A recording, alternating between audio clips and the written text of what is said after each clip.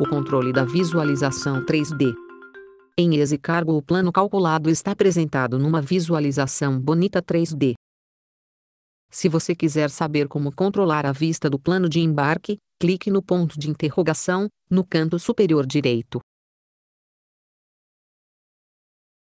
Carregue e mantenha o botão esquerdo do mouse pressionado, e mova o mouse para girar a vista.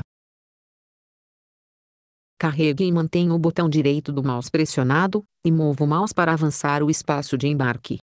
Para aproximar a vista utilize a roda de rolagem.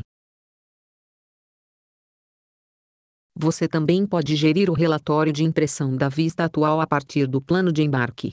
É só clicar no botão no canto superior direito.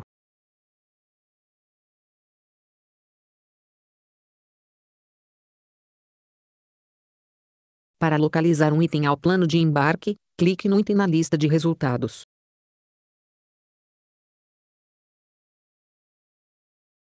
Você também pode usar as vistas predefinidas para ver o resultado dos ângulos básicos.